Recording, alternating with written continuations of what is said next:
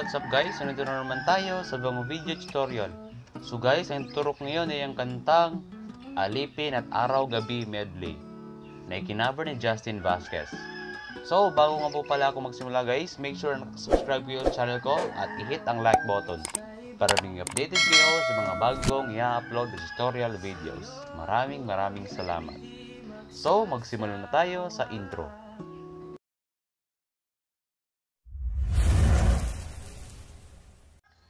So, sa kantang ito guys, dapat meron tayong capo sa second fret. So, ang unang chord ng intro guys ay C. So, siguro alam niyo ito. So, ang plucking pattern ng C guys ay ganito.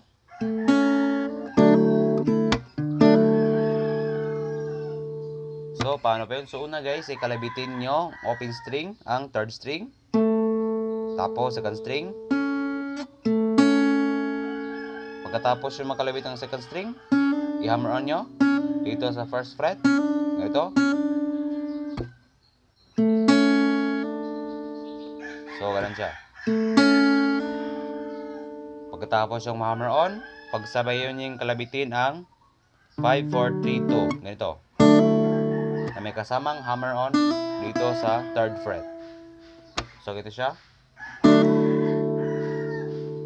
Isa pa.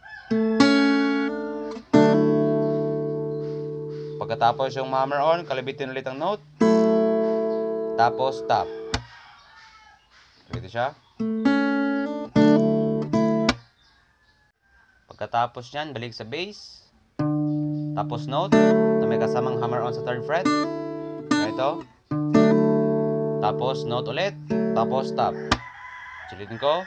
Bass. Note na hammer on. Tapos note. Tapos stop. Ito siya. Ulitin ko simula guys, slowly.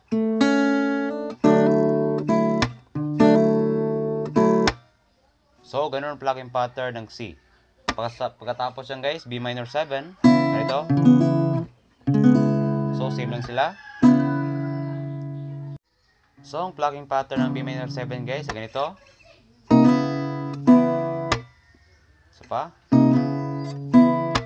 So, paano ba yun? So, una guys, bumuo kayo ng chord na B minor 7. Tapos, i-slide nyo papunta sa second fret. So, magsisimula kayo sa first fret. Papuntang second fret. Ganito. Pagkatapos yung may slide, kalabitin ng note. Tapos, stop. Ganito. So, ganun ang plucking pattern ng B minor 7. Pagkatapos ng B minor 7 guys, ang susunod na chord ay E minor 7.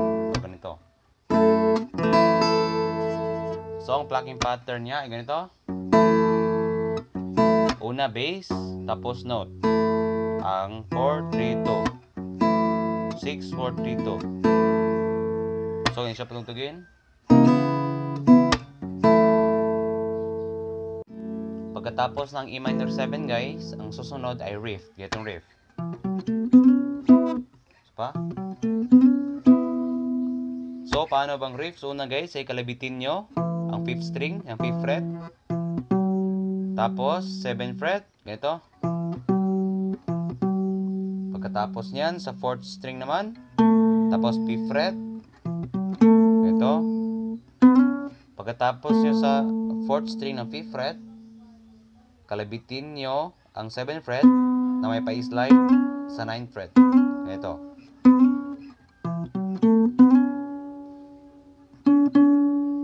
Pagkatapos yung may slide, kalabitin yung sabay ang 4 at 3rd string dito sa 7th fret. So, dalawang note lang. So, gito siya, slowly.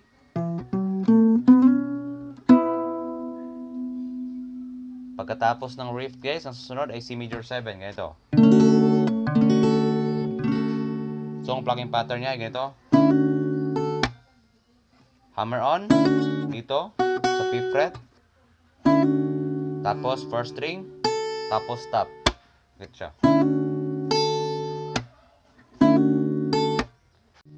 Pagkatapos ng C major 7 guys, ang susunod na chord ay C. So, ibalik nyo lang. So, ang plucking pattern na C, ganito. So, una guys ay bass, tapos note, na may kasamang hammer-on, dito sa third fret ng second string. Pagkatapos yung hammer-on, balik ulit sa note, tapos tap, tapos kalabit lahat ng note, ang 5, 4, 3, 2. So, slowly,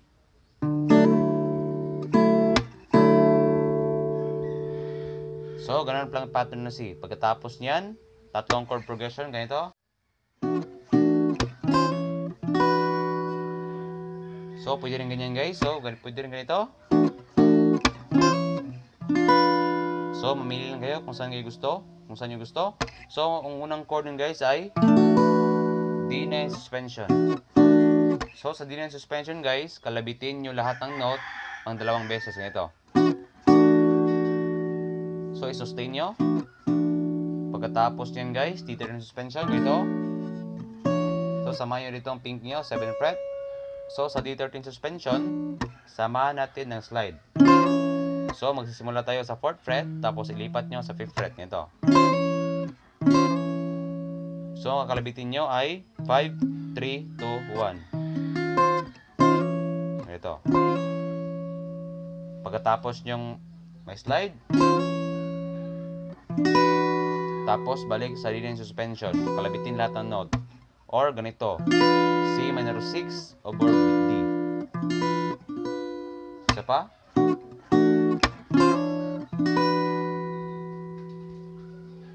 So, ulitin ko simula guys. Slowly lang. So, sabayan nyo ako. So, ganito siya.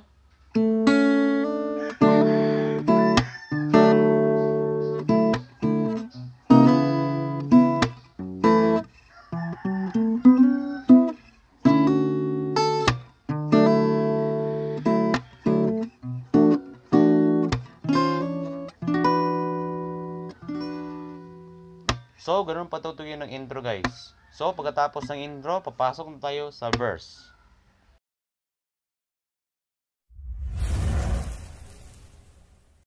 So, sa verse guys, napakadali ng mga chord. So, ilalagay ko lang dito sa ibaba ang kanyang chord numbering.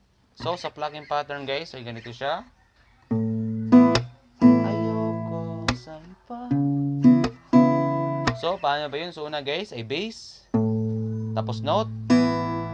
Tapos tap. Tapos pagsabayin lahat. Tapos balik sa note. So ganito siya. So pwede rin ganito guys kung gusto nyo. Ayoko sa iba. So paano ba yun? So na guys, isa-isahin yung kalabitin lahat ng note. Dito. Tapos tap. Tapos pagsabayin lahat ng note. So siya. So, pwede rin strumming.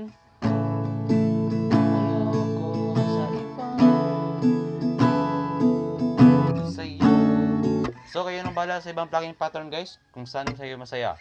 So, ang unang chord ng verse, guys, ay G. So, limang chords na natin gamitin. G, tapos ang pangalawang chord, B minor 7. Ganito. Tapos, C major 7. Pagkatapos niyan, din suspension. Tapos ang panghuling chord ay D13 suspension. So, samayin lang dito sa pink nyo 7th fret. So, hindi siya patutugin. Ayoko. G, tapos B minor 7. Iba. Major 7. Sa'yo.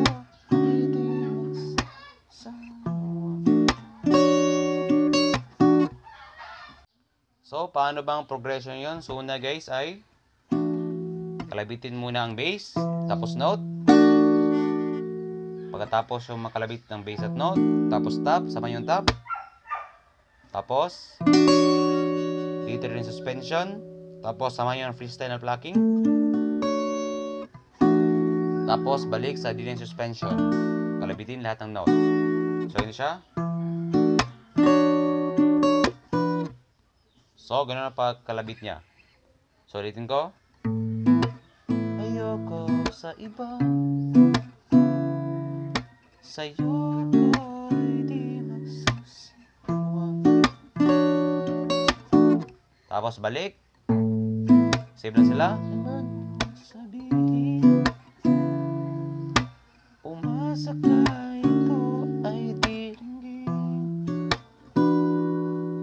pagkatapos ng major 7, dito yung suspension. Tap, tapos, dito yung suspension. Ito.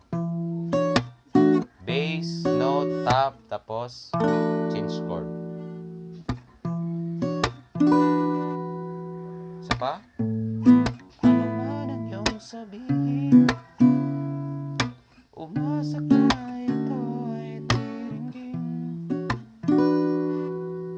So, pagkatapos yan guys, pumunta na tayo sa pre-chorus.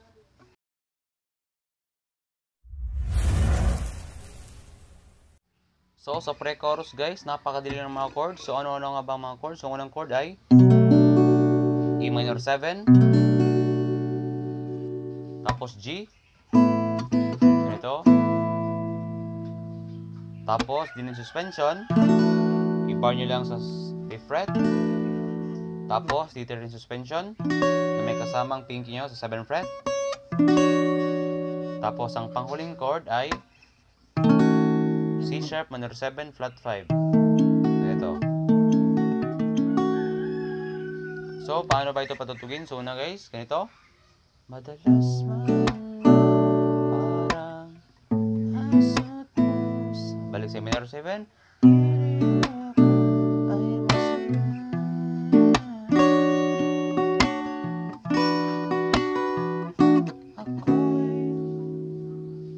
So, ganun patutugin guys. So, ang tatlong chord progression yan guys, nandito yung suspension, dito rin suspension, at saka C sharp minor 7 flat 5. So, kayo nang humanap guys kung anong timing yon kasi free- freestyle lang kasi yung kinakalabit ko nun. Ganito.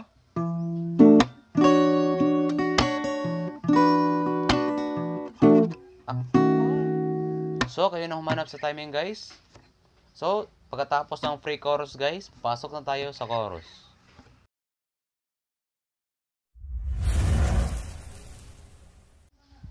So, sa chorus guys, napakadali ng mga chords. Ilalagay ko lang dito sa ibaba ang kayang chord ng biring. So, ang unang chord ng chorus guys ay si major 7. Ganito. Ako'y alipin mo kahit hindi bati. Pagkatapos ng si major 7, B minor 7. Ito. Balik sa si major 7. Aminin Pagkatapos niyan, D minor 9, manhi. So, sa D minor 9, ganito siya.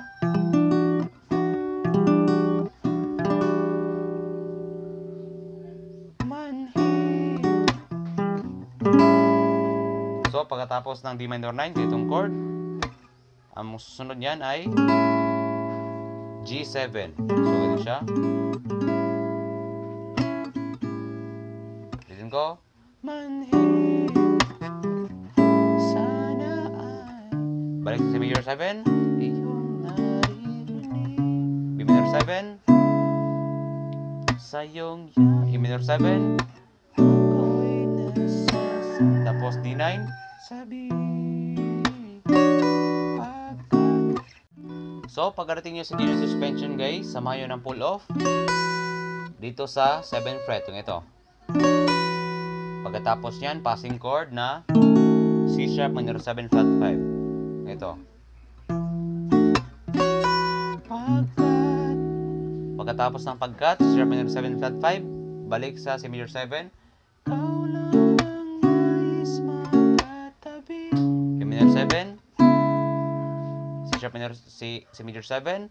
Hananig man o mainit ang gabi. D minor 9. Tapos G7. Tignan ko. Malamig man o mainit ang gabi. Nais ko si major 7. San? B minor 7. Parating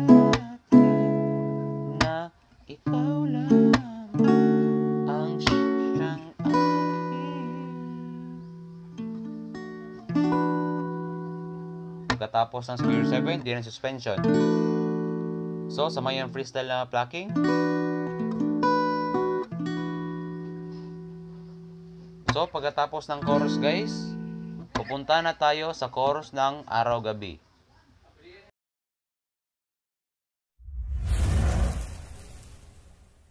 So, ang unang chord ng chorus ng araw-gabi guys ay si major 7.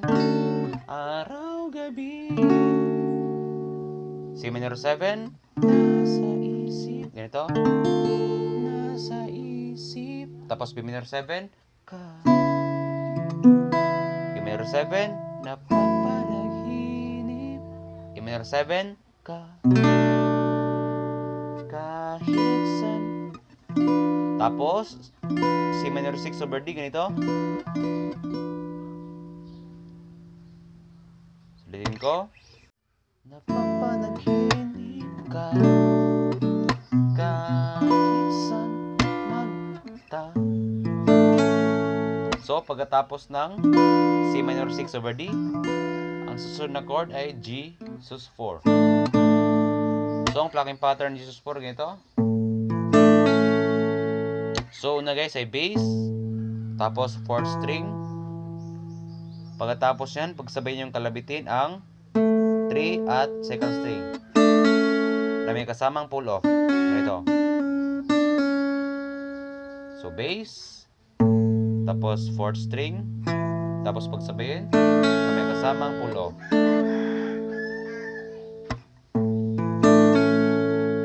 Pagkatapos niyan, D na note, araw, araw. Pagkatapos ng D na note, kalabitin lang isa ka note, tapos G7. Isa pa, araw. Balik sa C major 7, gabi. C minor, C minor 7, sa tuwa.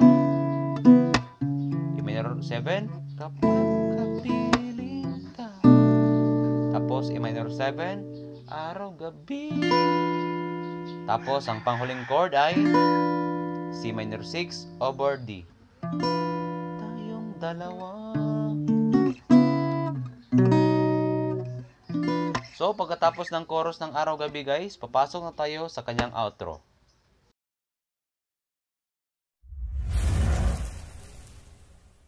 So, sa outro guys, tugtugin ko muna. Ganito siya.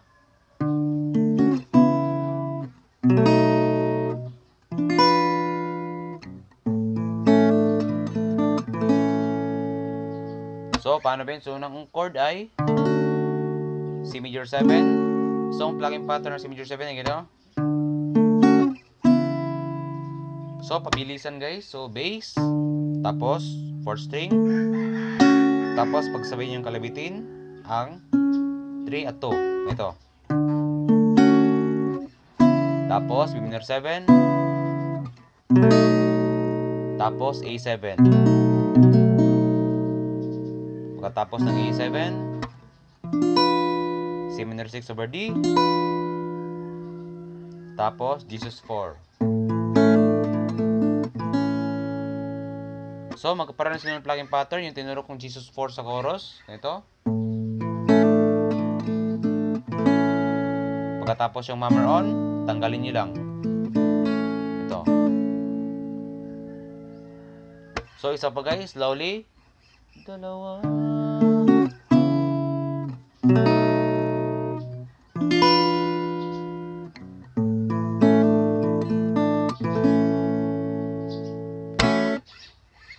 hopefully guys, na may natutunan kayo. So, ang payo ko lang guys, mag-practice kayo na mag-practice. Bye-bye!